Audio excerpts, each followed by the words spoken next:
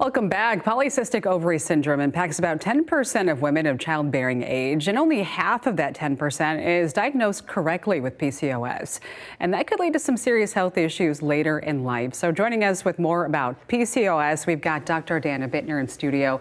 Always great to see you. Good, Good morning. morning.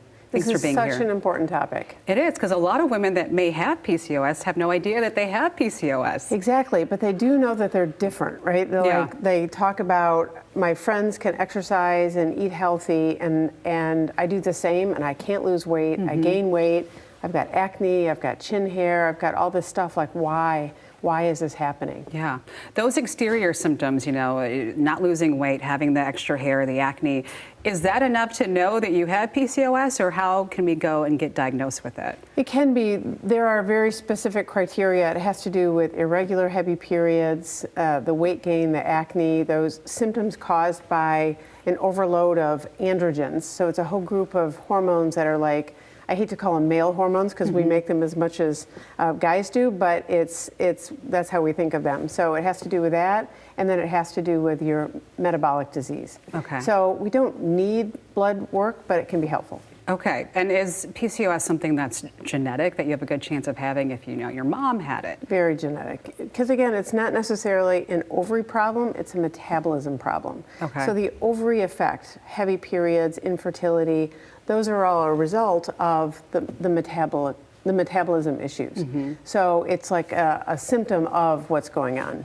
Is it something that uh, you can realize you have when you're younger, or do women mostly find out when they're trying to begin their families? So it can happen pretty young, but it's often triggered by, let's say, the freshman 15 at college. You know, oh, some okay. girls go off to college, mm -hmm. they mm-hmm. gain that freshman 15, and then they lose in the next couple years, no big deal. But yeah. for those women who have PCOS, they gain that initial weight, and then whew, you know, they gain more weight and it just becomes more of an yeah, issue. and harder to get off. Uh, so how can we treat PCOS? So PCOS is treated, first of all, by a foundation of healthy lifestyle. It's number one, it's muscle mass. It's gaining mm -hmm. that mm-hmm. muscle mass. It's eating high protein, high fiber, keeping those blood sugars down. Mm -hmm. um, but then for some women, that's not enough. They're doing all that and nothing's changing. So mm -hmm. then we get into the medications. So it's about um, obviously identifying, but then it's using perhaps medications to mm -hmm. treat the underlying metabolic disease, sure. which then everything else Okay. I've heard of maybe using metformin, but I know there's more, there are more tools in the toolbox right. than that. So metformin is an old drug, it's a safe drug, it works really well, but mm -hmm. for mm-hmm. some women it's just not strong enough or we're not going to get the effect fast enough mm -hmm. uh, when we talk about Jane.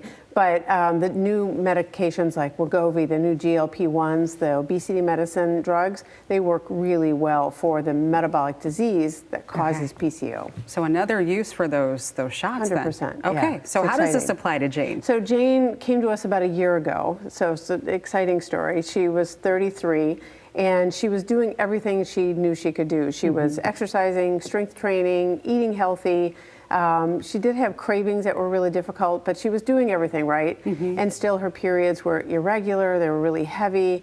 Um, she had acne, she had weight gain, she carried all her weight in her belly. Mm -hmm. um, and she was 33, and she's like, I really want to meet someone, but she had poor self image and didn't mm -hmm. want to date.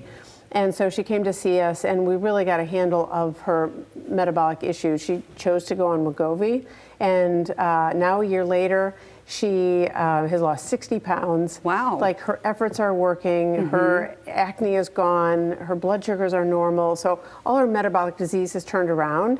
And about four months ago, she started dating someone, and her periods are now regular and light and you That's know, great. it looks like she'll be in a really good place to have what she wants. Yeah. So it's very exciting. Because this condition, it sounds like, can really affect self-esteem. So good to know that there's help out there. What is your takeaway tip? Takeaway tip is if you have these issues, get help. Don't mm -hmm. ignore them. Don't think it's your fault. Yeah. Don't think you didn't do enough or, you know, history does not have to repeat itself from what you might have seen your, your parents go through. So okay. get help and it's good information. I know September is PCOS Awareness Month, so we've go. got a head start on it. Thanks yeah, so much, Dr. Bittner. Appreciate it.